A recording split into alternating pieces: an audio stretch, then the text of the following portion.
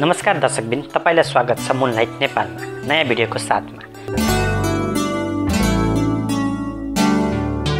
दर्शकबिन यदि तपाईँलाई पेटको समस्या आइरहेको छ कब्जियतको समस्या छ ग्यास्ट्रिकको समस्या छ पेट फुल्छ पेट दुख्छ दिशा गर्न समस्या आउँछ एसिडिटीको समस्या छ भने तपाईँको लागि रामबाड विधि जसले घरमा नै सजिलै बनाउन सक्नुहुन्छ र यस चमत्कारिक विधिद्वारा तपाईँले भयङ्करभन्दा भयङ्कर ग्यासको समस्याबाट तत्काल पाँच मिनटमा छुटकारा पाउनु हुनेछ।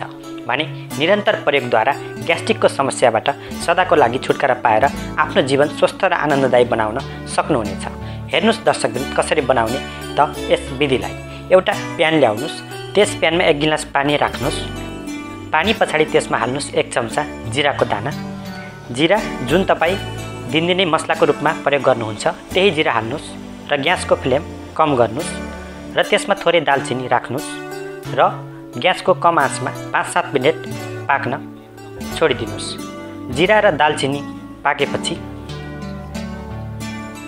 यसरी कलर छोड्दछ। अब ग्यास बन्द गर्नुहोस्। यो राम्रोसँग पाकेर तयार भयो। अब यसलाई तातो तातो नै गिलासमा छानेर निकाल्नुहोस्। र यसमा अझै दुई चिज मिलाउन बाँकी छ। अब एउटा कागती लिएर आधा काट्नुहोस् र गिलासमा निचाल्नुहोस् कागतीको रस भयो। अब यस पछाडि आधा चम्चा बिरे नुन हाल्नुहोस्। बिरे नुन बजारमा सजिलै कहीँ पनि पाइन्छ र यसलाई राम्रोसँग घोल्नुहोस्। तपाईँको विधि तयार भयो। यसलाई तातो तातो नै पिउनुहोस्। अब यस विधिले तपाईँको पेटमा रहेको जस्तो सुकै ग्यास पनि पाँच मिनट पछाडिबाट तुफान जसरी निकालिदिनेछ। तपाईँले हेरिहाल्नुभयो यसमा सबै प्राकृतिक चिज प्रयोग गरेका छौँ। त्यसैले यसको तपाईँको शरीरमा कुनै पनि अरू हानि हुने छैन।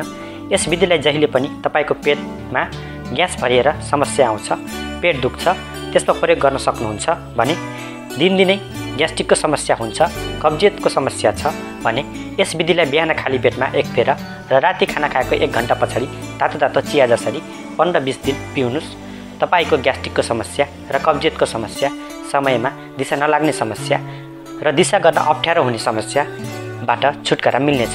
विधिलाई प्रयोग गरेर अवश्य हेर्नुहोला।